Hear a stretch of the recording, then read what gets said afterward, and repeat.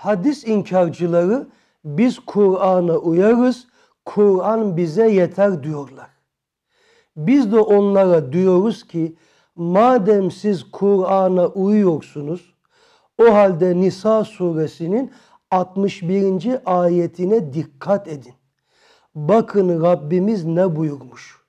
Estaizu billah ve izâ gîle lehum onlara denildiği zaman Teâlev ilâ mâ enzalallah ve ilâ rasul Allah'ın indirdiğine yani Kur'an'a ve Resul'e gelin. Re'eytel münafigîne yesuddûne anke sududa.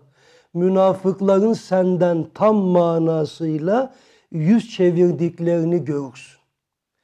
Manaya bir daha dikkat kesilelim. Onlara Allah'ın indirdiğine ve Resul'e gelin denildiği zaman münafıkların senden tam manasıyla yüz çevirdiklerini görürsün. Şimdi bu ayeti kerime üzerinde biraz tahlil yapalım.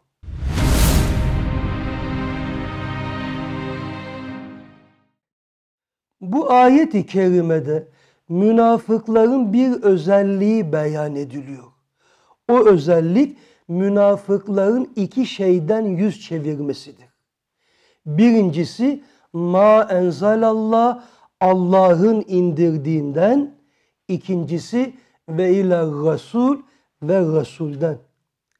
Allah'ın indirdiğinden yüz çevirmek, Kur'an'ın hükümlerinden yüz çevirmektir. Peki Resul'den yüz çevirmek nedir? Sakın bu da Kur'an'dan yüz çevirmektir demeyin. Çünkü bu Kur'an'ın hükümlerinden yüz çevirmek olamaz. Arapça bilmeyenler için bunu izah edelim. İlâ mâ enzelallah ve ilâ rasul bu ayetteki vav harfi atıf harfidir. Atıf harfi kendinden sonrasıyla öncesinin farklı olduğunu gösterir. Biz bunu Türkçe'de de kullanıyoruz. Mesela Ali ve Ahmet geldi desek Ahmet'in Ali'den farklı bir şahıs olduğunu anlarız. Ali farklıdır, Ahmet farklıdır. Bu farkı ortaya koyan edat da V edatıdır. Aynen bunun gibi Allah'ın indirdiğine ve Resul'e gelin denildiğinde Resul'e gelmenin Allah'ın indirdiğine yani Kur'an'a gelmekten farklı olduğunu anlarız. Eğer ikisi aynı olsaydı arada vav atıf harfi kullanılmaz ve sadece Allah'ın indirdiğine gelin denilirdi. Halbuki böyle denilmemiş. Peki ne denilmiş? Allah'ın indirdiğine ve Resul'e gelin denilmiş. Bütün bu izahlardan sonra sorumuz şu. Allah'ın indirdiği Kur'an'dır ve Kur'an'da geçen hükümlerdir. Peki Resul'e gelmek nedir? Aklınıza sünnetine gelmek ve hadislerini kabul etmekten başka bir şey geliyor mu? Herhalde gelmiyordu.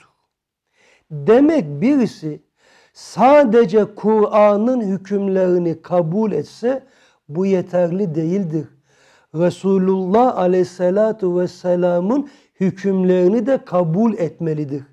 Çünkü Efendimiz aleyhissalatu vesselamın hükmü de Allah'ın hükmü gibidir ve bu hükümler de Allah'ın emriyledir.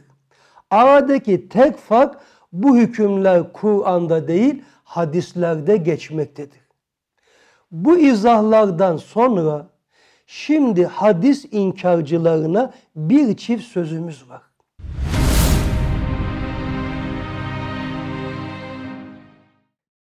Şimdi hadis inkarcılarına diyoruz ki siz biz Kur'an'a uyarız, Kur'an bize yeter diyorsunuz.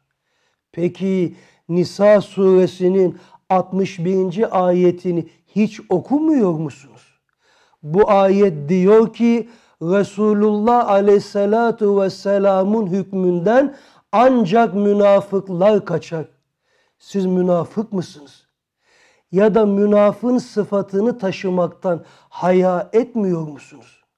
Bizler sizleri halis mümin olmaya ve halis müminin sıfatı olan Resulullah'ın sünnetini ve hadislerini kabul etmeye davet ediyoruz. Sevgili kardeşlerim, hadis savunması eserimizin bu 18. dersini burada noktalayalım. Bir sonraki dersimizde buluşuncaya kadar Allah'a emanet olun.